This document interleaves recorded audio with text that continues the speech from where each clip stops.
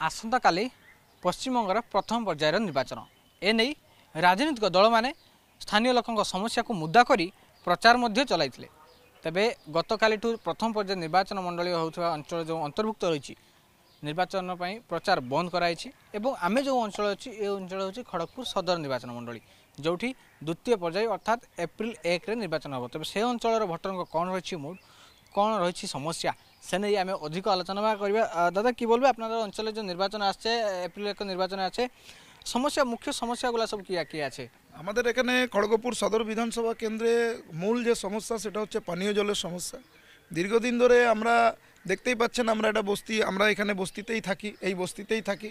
এবং এখানে আমাদের সমস্যা হচ্ছে পানীয় জলের সমস্যা, সঠিক টাইমে পানীয় জল আসে না এবং কালো জলটা, কালো জল বেরোয় এবং খড়গপুরে আরেকটা সমস্যা রয়েছে, জল নিকাশি ব্যবস্থা। সঠিকভাবে জল নিকাশি ব্যবস্থা নেই। কেবলমাত্র উন্নয়ন নামে টাকা লুট হয়েছে, আর কিছুই কাজ হয়নি। প্রধানমন্ত্রী আবাস যোজনার বাড়ি, যারা গরিব মানুষ, পাওয়ার কথা, যারা বস্তির মানুষ, যারা মাটির বাড়িতে থাকে, তাদের পাওয়ার কথা তারা পায়নি। অথচ যাদের যারা হচ্ছে সরকারি দলে রয়েছে, যারা হচ্ছে তৃণমূল করেন, তারা বাড়ি টাড়ি পাচ্ছেন, অথচ যারা সাধারণ মানুষ, গরিব মানুষ, যাদের বাড়ি পাওয়ার কথা তারা পাচ্ছে না। এবং আরও একটা সমস্যা, যে প্রধানমন্ত্রী আবাস যোজনার জন্য আমাদের খড়গপুরের বাইরে কোথাও পঁচিশ হাজার টাকা করে দিতে হচ্ছে না। কিন্তু এখানকার যিনি চেয়ারম্যান, তিনি পঁচিশ হাজার টাকা করে মানুষের কাছ থেকে নিয়েছেন। এই বিষয়টা এখনও পর্যন্ত আমরা খড়গপুর নিবাসী, আমরা কিন্তু বুঝতে পারিনি। এই যে স্থানীয় অঞ্চলের সমস্যা। আয়োজন মধ্যে অনেক ভোটর আপনি তো ভোট দেবে নির্বাচনের ভোট দেবে। ভোটের জন্য কি বলবে? কেমন ভোটর ভোট হওয়া চাই? আমরা ভোট চাই একদম শান্তিপূর্ণ ভোট চাই।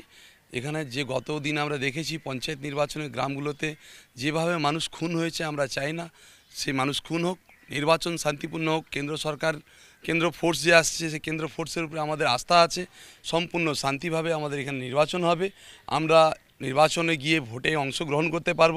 আর সাধারণ মানুষ অংশগ্রহণ করতে পারবে এটাই আমাদের আস্থা। আপনি কি বলবেন? আমি বলব দেখুন আমাদের যে বিজেপি যে আমাদের যে চাণক্য যে অমিত শাহজি এবার বলেছেন উনি দুশো পার করবেন। ঠিক আছে? তো ওই আশায় নিয়ে আমরা রয়েছি।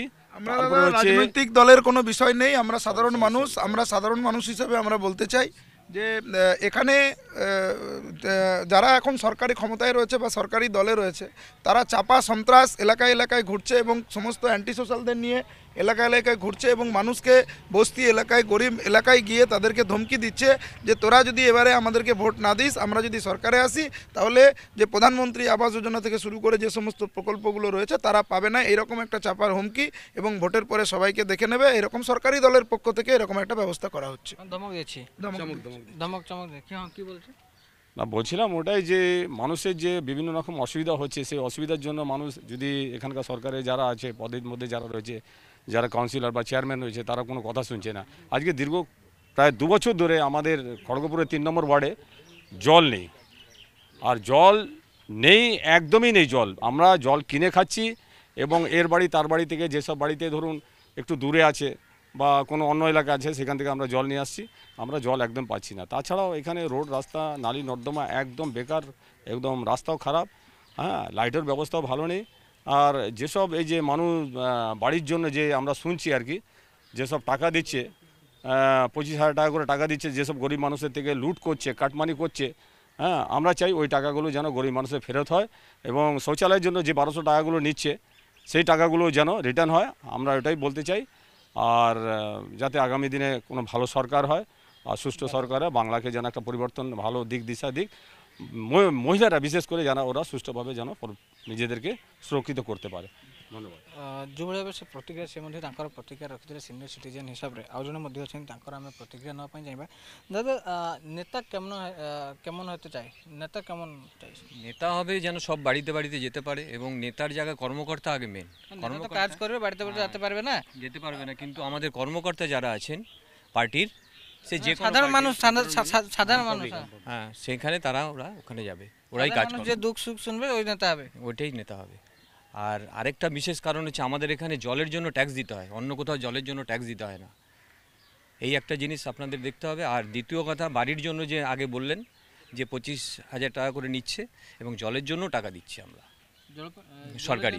জলের জন্য আমাদেরকে একটা কথা আছে। কি কি সব উন্নয়ন হবার চাই কথা আছে। খড়গপুর সদরে আজকে বিগত দেড় বছর ধরে যিনি বিধায়ক ছিলেন, প্রদীপ সরকার, এখানে একটা ভারী সমস্যার মধ্যে প্রত্যেকটা জনসাধারণ আছেন, যারা এনএস সিক্সের পাশে যাদের কিরম ঘর বাড়ি আছে।